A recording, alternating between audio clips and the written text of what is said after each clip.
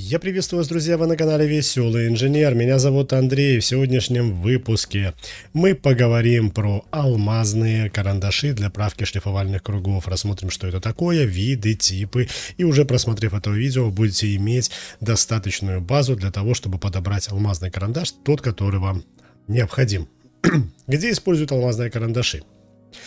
Конечно, на производстве, где вы работаете или будете работать, будут шлифовальные станки. Это может быть плоскошлифовальный, круглошлифовальный, внутришлифовальный и какие-нибудь другие обрабатывающие центра с использованием шлифовальных кругов. Конечно же, на них используют шлифовальные круги, которые различные по геометрии, имеют различную связку, э, зерна и так далее.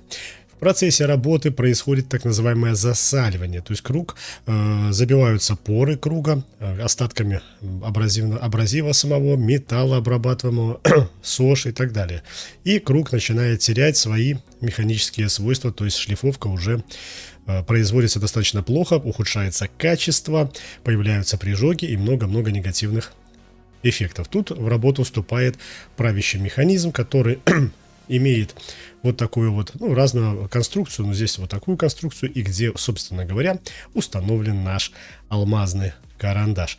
Правка производится, срезается э, вот эта вот темная часть круга, восстанавливается геометрия, механические свойства круга, и работа, в принципе, продолжается.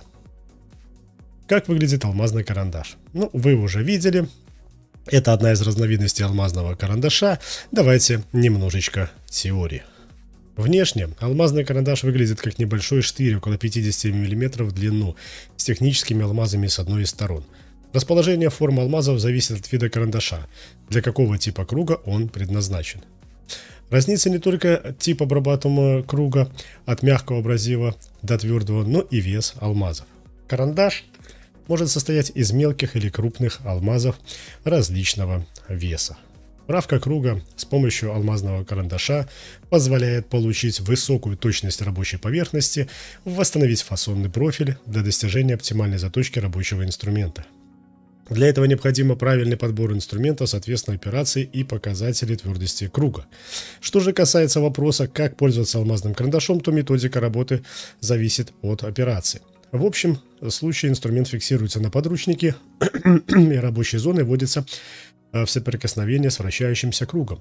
Таким образом, снимается слой абразива, восстанавливается геометрия круга и обновляется поверхность с восстановлением первоначальных свойств. Стоимость карандаша зависит от массы, алмазов, типа, использования природных или синтетических камней, но в любом случае его применение экономически оправдано значительно увеличением ресурса работы абразивных кругов и снижением эксплуатационных расходов. А вообще, без алмазного карандаша, ну просто вы не сможете нормально, адекватно шлифовать вашу продукцию.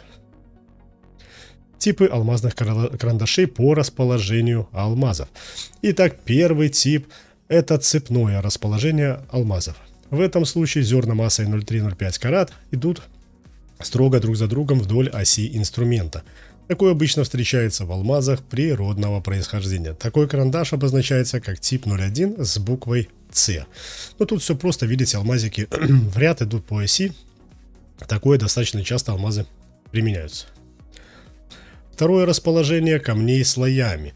Такая ориентация зерен есть и в естественном, и в искусственном камне. Размер зернина от 0,1 до 0,2 карат в каждом слое. Обозначение такой вставки тип 02 с буквой S. Она обладает большой износостойкостью и применяется для окончательной правки кругов с умеренной и высокой твердостью, размером до 600 мм. Эти карандаши подходят для разных кругов. Как вы видите, здесь работает один, здесь работает целый ряд, то есть это уже более такой мощный вид алмазных карандашей. И неориентированное расположение камней в таком карандаше зерна не имеют четкого направления, размер фракции 1-2 карата. Такой инструмент маркируется как тип 0,4 с буквой N. Область использования таких карандашей – заточка и идеальное выравнивание мелкозернистых кругов, которые дают высший класс точности вашего изделия. Итак, поехали дальше. Типы алмазных карандашей по геометрии корпуса. Да, но это не корпус, а, ну, как бы сказать, вообще сам алмазный карандаш, его основание. Тип А – это цилиндрический. Тут все понятно, видите, что алмазный карандаш имеет форму обычного цилиндра. Тип В это конический. Конус Морзе, как вы видите, здесь крепление идет в какую-то коническую державку. И третий это тип S, ступенчатый. Ну тут тоже все понятно. То есть посадочный диаметр, он, э, ну в большинстве алмазов он диаметром 10 обычно является, да. Ну а здесь уже вот эта вот часть, которая рабочая, она может иметь какой-то отличительный диаметр. То есть здесь вот 14, может быть там 16 есть, есть 12, ну различные варианты. Как применить полученные знания? Давайте закрепим. Есть паспорт. На алмазное изделие карандаш алмазный. Видите, здесь есть ГОСТ 607. Давайте по порядку. ГОСТ 607 80 -го года и обозначение 39080066. Берете вот этот ГОСТ. Как видите, вот он ваш алмаз. Вот обозначение. Находите здесь свое обозначение и уже по а, нему смотрите по табличке какой ваш алмаз, какие размеры зерен и многие-многую информацию, которую не рассказывают, о которой не говорят в паспорте, ну, можно посмотреть в гости.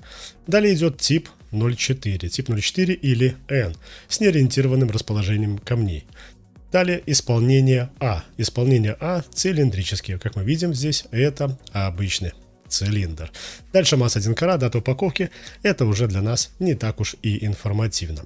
Вот так вы можете разложить в принципе любой паспорт на алмазное изделие. В нашем случае это карандаш алмазный. На этом все, друзья. Подписывайтесь на канал, ставьте лайки и дизлайки, пишите в комментариях, о чем еще снимать видео. Всем добра. Пока-пока.